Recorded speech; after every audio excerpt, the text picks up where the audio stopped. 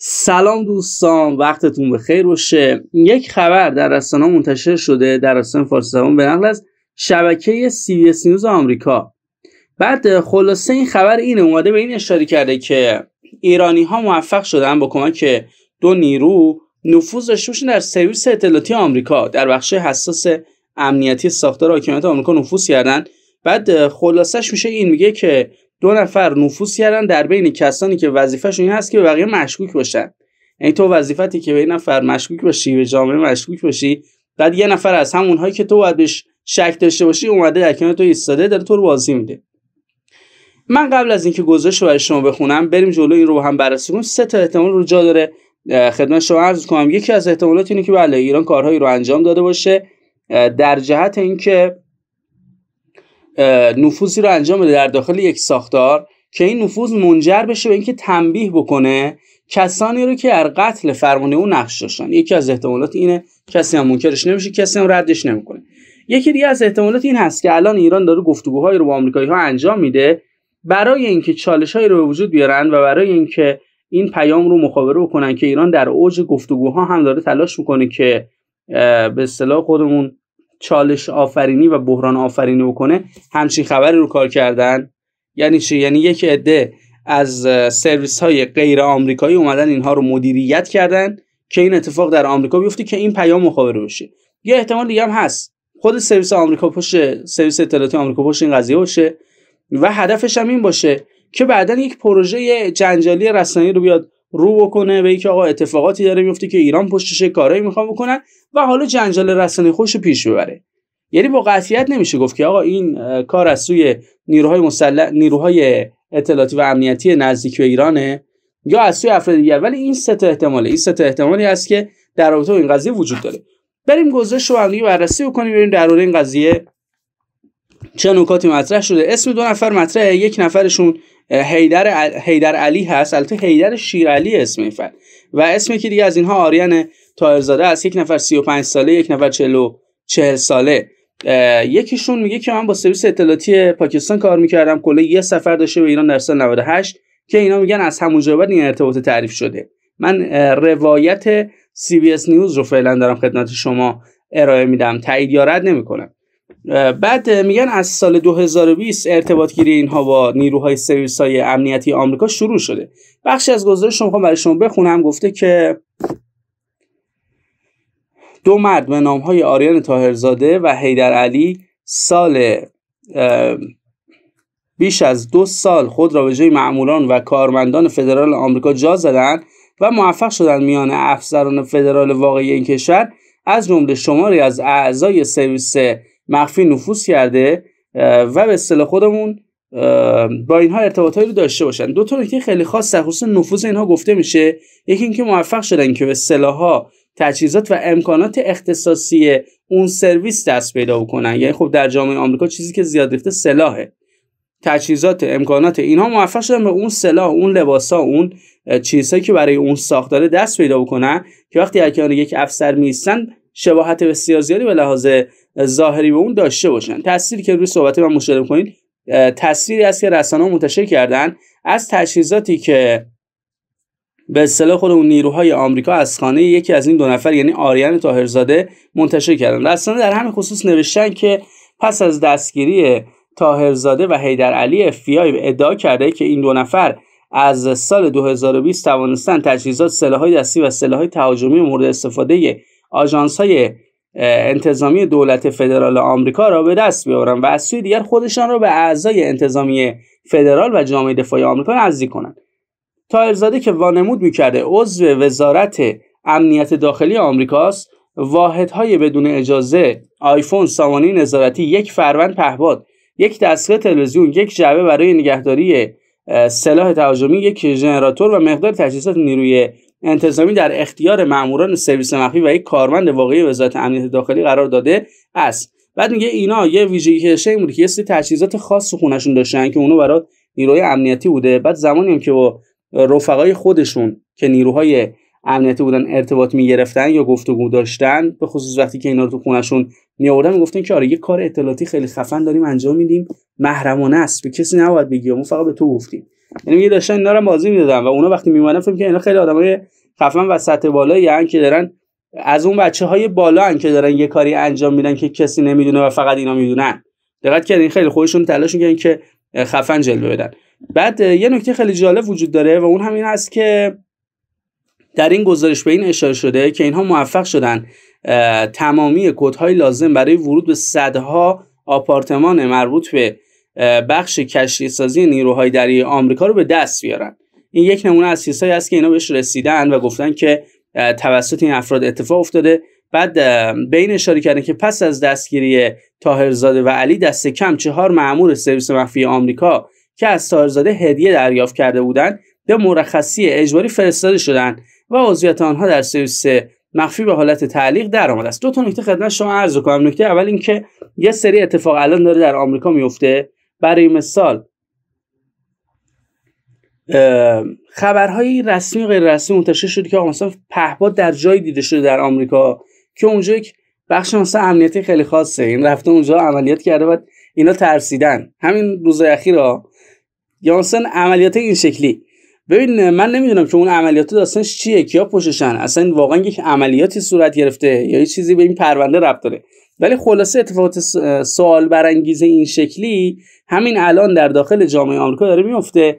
بخشش رسانه‌ای شده و بخشش البته سانسور شده. تصویری که مشاهده می‌کنی تصویر نیروهای FBI هست نیروهایی که دارن میرن برای اینکه ببخشید. یکی از این افراد رو بازداشت بکنن و در لحظه ورود پیدا کردن به ساختمان این فرد این تصویر به ثبت رسیده. یه نکته خیلی جالب دیدم و اون نکته این بود که در گزارش به این اشاره کردن که این دو نفر ارتباطایی رو گرفتن با افرادی که اینها بخشی از اعضای سرویس مخفی کاخ سفید بودن حفاظت کاخ سفید بودن و یکی از اونها کسی است که مأموریت حفاظت از همسر جو بایدن رو بر داشته. یعنی تا این حد اینا موفق شدن نفوذ داشته باشن طبق ادعای سی بی اس نیوز. بعد گفته که حالا یک نکته رو تو این بخش گفته من علتش و انگیزه این که این داخل این متن اومده رو متوجه نشدم ولی به این اشاره کرده که پیگیری کردن تا از طریق یکی از این افراد بتونن یک سلاح تهاجمی به ارزش 2000 دلار رو به دست بیارن. حالا اینکه چرا یه همچین چیزی با توی متن بیاد؟ چون بالاخره توی همچین پرونده ای حرفای عجیب غریب و خاص ویژه خیلی زیاد وجود داره. حالا چرا سوزن نویسنده به همچین چیزی گیر کرده؟ این خودش می‌تونه سوال برانگیز باشه.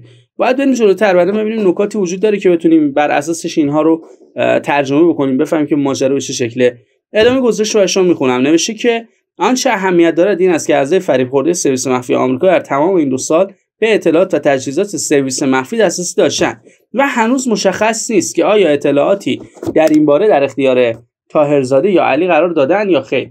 یا تاهرزاده و علی توانستن از راه دیگری از آنها جاسوسی کنند یا خیر. و این نکته خیلی جالب وجود داره اینه که بین اشاره که اینها به اصطلاح خودمون آپارتمان هایی داشتن و این آپارتمان ها رو بدون اینکه هزینه دریافت کنن در در اختیار بچه های سرویس اطلاعاتی که باشون کار می‌کردن باشون ارتباط گرفتن قرار دادن. یعنی یه سری امتیازایی می‌دادن که طرف با در نظر گرفتن اون امتیازات میفهمیدی که می‌تونه به اینها به عنوان دوست نگاه بکنه. دقت اینجی شد؟ بریم ادامه گزارش رو بررسی بکنیم. یک جمله خیلی خاص در داخل این گزارش وجود داره که دوست داشتم این جمله رو برای شما پیدا بکنم. بله همون جمله که ابتدای گذاشت خدمت شما عرض کردن نوشته که آنچه اهمیت دارد این است که اعضای فریب خورده سرویس مخفی آمریکا اطلاعاتی رو داشتن که در اختیار این افراد معلوم نیست قرار دادن یا این افراد بهشون دست پیدا کردن یا نه. بعد در ادامه به نقل از دادستان پرونده گفته این دو نفر افرادی رو فریب دادن که شغلشان مشکوک بودن به دیگران است. به علاوه هنوز افشا نشده است که آیا اعضای دیگری از سرویس مخفی آمریکا در این نقشه گرفتار شدن یا خیر مثلا به طور کاملا اتفاقی نیروهای مسئول حفاظت ترامپ یا اعضای ارشد دولتش هم مورد به خودمون نفوذ قرار گرفتن یا نه یعنی همه نگرانی اینها اینه که بررسی کنیم این ماجرا به اون عملیات ربط داره یا اصلا چیز جدای یک ماجرای دیگه ای. در ادامه این مورد مورد بحث قرار گرفت در این گزارش که آیا دست ایران در این ماجرا در کاره؟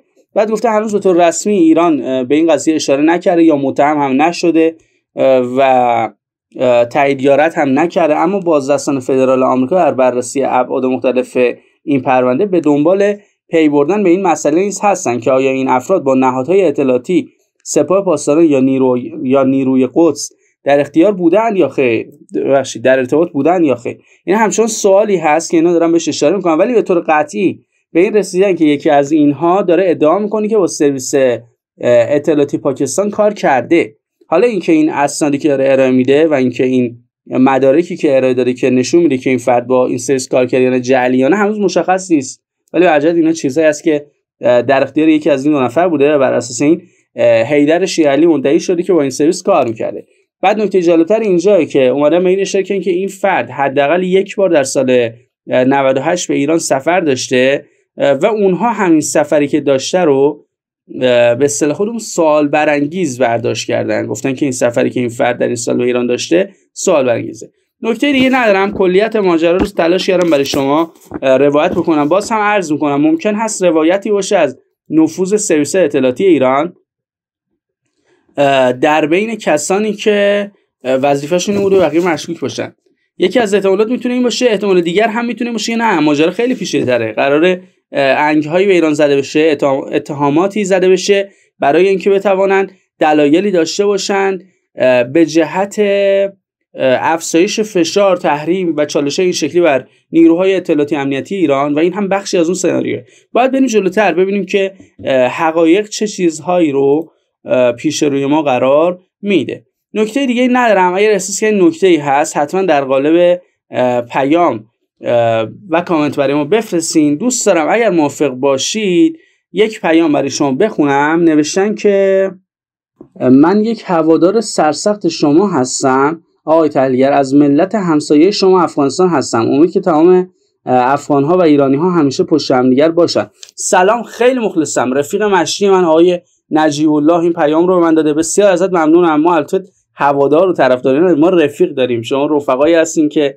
افتخار دارید مطالب من رو دنبال می‌کنید. امیدوارم که افغانستانی ها و ایرانی ها دست هاشون در دست همدیگه باشه همدلیشون بیشتر بشه و آرامش و امنیت اون چیزی باشه که به زودی بتونیم برای ملت افغانستان ببینیم. اون ماجرا خیلی تلخ و دردناکی که الان رخ داده اینه که این از مردم افغانستان گرفته شده. از مردم افغانستان گرفته شده. امیدوارم که یک روزی وقتی با هم صحبت می‌کنیم ببینیم که این آرامشه هست. این آرامشه به معنی واقعی کلمه هست. عده وقتی با پدرشون و مادرشون خداحافظی می‌کنن لباسه قشنگشون رو میپوشن کیفشون رو برمیدارن میرن به مدرسه. وقتی که خانواده پیگیر هستن در خونه که زده میشه صدای خبری که شنیده میشه خبر شهادت اونها نباشه. خبر این باشه که اونا به خونه برگشتن.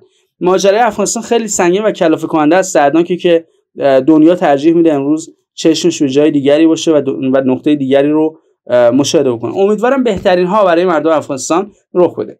اگر موافق باشید من این گزارش رو با یه جمله خیلی مهم می‌خوام تموم بکنم. جمله که از نظر ما مهمه. حالا ممکن از نظر شما مهم نباشه. و اون جمله اینه دوستان عزیز ما در هفته تبلیغات قرار داریم. در این هفته اون کاری که ما انجام میدیم این هست که به مدت یک هفته در ماه حمایت مالی داریم کل کاری که داریم پیش می‌بریم و کل فعالیت رسانه ما همونطور که در تصویر مشاهده کنید با همین بنر و همین تبلیغات یوتیوبه.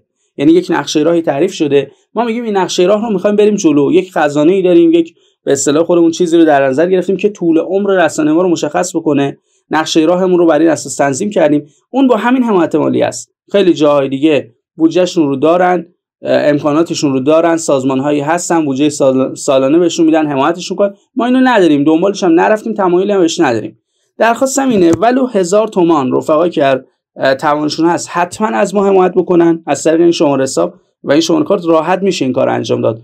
و کمک بکنید که این مسیر بتونیم مستقل پیش بریم ساده می‌کنم جمله بندیم رو. اگر رفیقی هست از مدل کارمون خوشش میاد و احساس می‌کنی که این مدل کار باید ادامه پیدا بکنه حتما از ما حمایت داشته باشه. خیلی مخلصم. الهی که دلتون شاد باشه وقتتون بخیر.